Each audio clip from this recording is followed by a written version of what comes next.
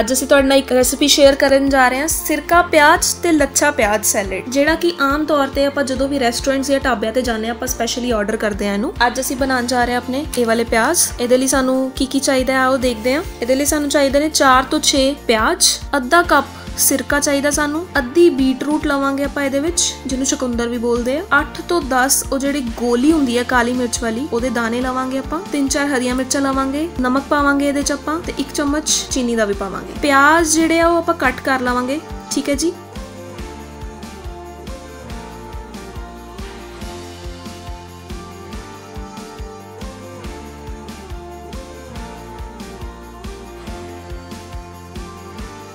Bowl ਲਵਾਂਗੇ, ਉਹਦੇ ਚ ਆਪਾਂ ਸਿਰਕਾ ਡਾਲਾਂਗੇ ਆਪਣਾ।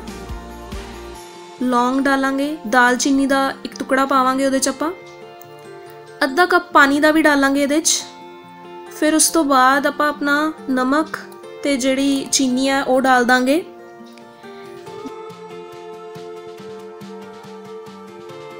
ਬੀਟਰੂਟ ਐਡ ਕਰਾਂਗੇ ਇਹਦੇ ਵਿੱਚ। ਜੇ ਤੁਸੀਂ ਬੀਟਰੂਟ ਐਡ ਨਹੀਂ ਕਰਨਾ ਚਾਹੁੰਦੇ ਤਾਂ ਤੁਸੀਂ ਇਹਦੇ ਵਿੱਚ ਜਿਹੜੇ ਉਹ ਕਲਰਸ ਆਉਂਦੇ ਨੇ ਆਰਟੀਫੀਸ਼ੀਅਲ ਉਹ ਵਾਲੇ ਕਲਰਸ ਵੀ ਐਡ ਕਰ ਸਕਦੇ ਹੋ। ਠੀਕ ਹੈ ਜੀ? ਫਿਰ ਆਪਾਂ ਲੰਬੀਆਂ ਲੰਬੀਆਂ ਦੋ ਹਰੀਆਂ ਮਿਰਚਾਂ ਡਾਲਤੀਆਂ ਇਹਦੇ 'ਚ।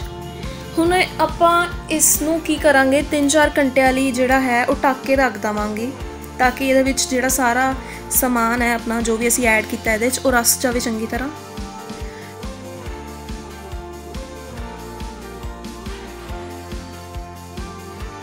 ਦੂਜੇ ਪਾਸੇ ਹੁਣ ਆਪਾਂ ਆਪਣੇ ਬਣਾਵਾਂਗੇ ਲੱਛੇ ਪਿਆਜ਼।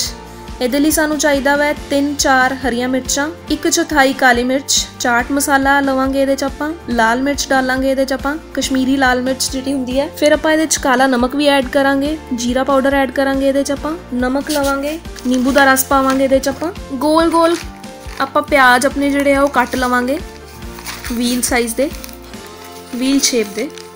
ਕੱਟ ਕਰਾਂਗੇ ਇਹਨਾਂ ਨੂੰ ਆਪਾਂ।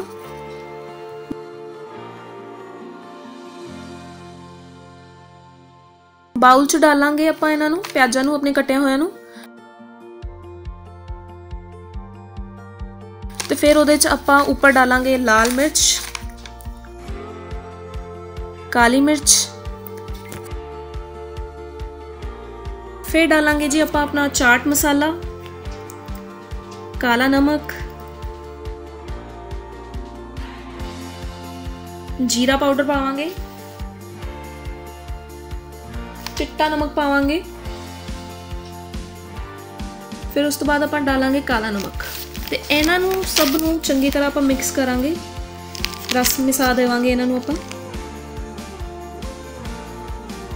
ਤੇ ਫਿਰ ਇੱਕ ਚਮਚ ਲੈਮਨ ਦੇ ਰਸ ਦਾ ਪਾਵਾਂਗੇ। ਇਹਨੂੰ ਵੀ ਆਪਾਂ ਚੰਗੀ ਤਰ੍ਹਾਂ ਮਿਕਸ ਕਰਾਂਗੇ।